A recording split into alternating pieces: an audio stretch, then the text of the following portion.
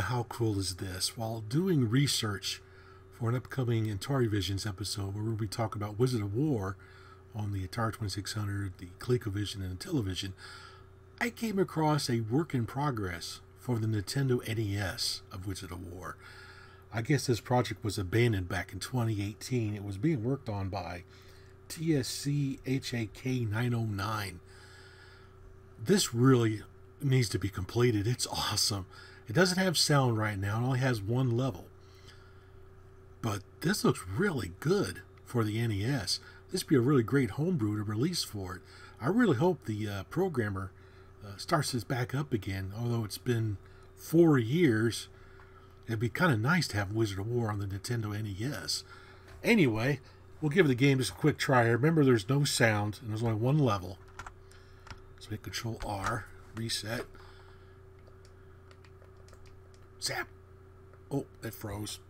It does have some bugs.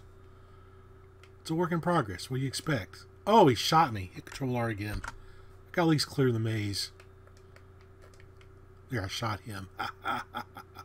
Whoa! But it plays really well. It's not bad at all. Oh, there we go. Can't go. I, I can't uh, find any more critters because I shot them all.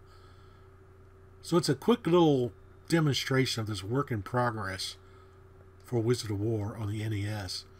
Like I said, I really hope the programmer picks this project back up again, or maybe someone else can pick up the project. This would be a really cool uh, Kickstarter game or a crowdfunded game or something like that to bring to the Nintendo. Wizard of Wor is one of my favorite arcade games. I love the game to death.